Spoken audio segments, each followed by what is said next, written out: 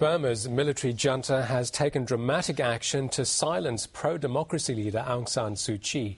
She's been hauled off to jail and charged with breaching the terms of her house arrest and will face trial on Monday. Her current period of house arrest was due to expire soon.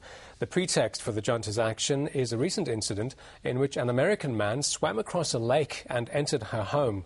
The opposition says that's just an excuse for keeping Aung San Suu Kyi out of the public eye. After spending most of the past 20 years as a prisoner in her own home, Aung San Suu Kyi's personal and political struggle looks set to continue. Less than a fortnight before her latest period of home detention was due to expire, the leader of Burma's National League for Democracy was taken to Rangoon's notorious Insein prison. These photos, published on a Burmese website, were reportedly found on a camera carried by John William Yettaw. According to reports, the American swam two kilometres to infiltrate Suu Kyi's restricted lakeside compound, where he stayed for two days before he was arrested.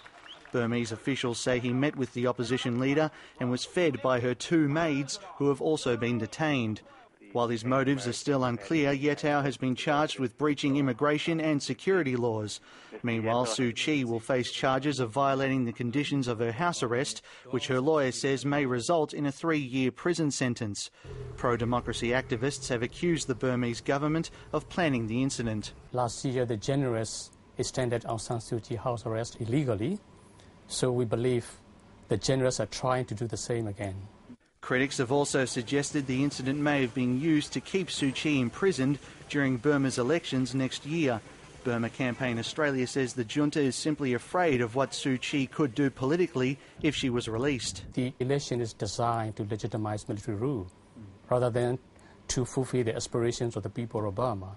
Without participation of Aung San Suu Kyi and all political forces, the credibility of the elections questionable.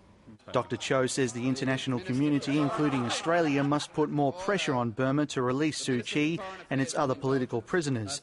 Today, this from the Foreign Affairs Minister. It is uh, Australia's long standing position, shared by governments of both political persuasions, that she should be released immediately and unconditionally. Uh, and I repeat that uh, today. But with her trial set to begin on Monday, it seems Burma's government will do anything it can to silence her. Manny Tsigas, World News Australia.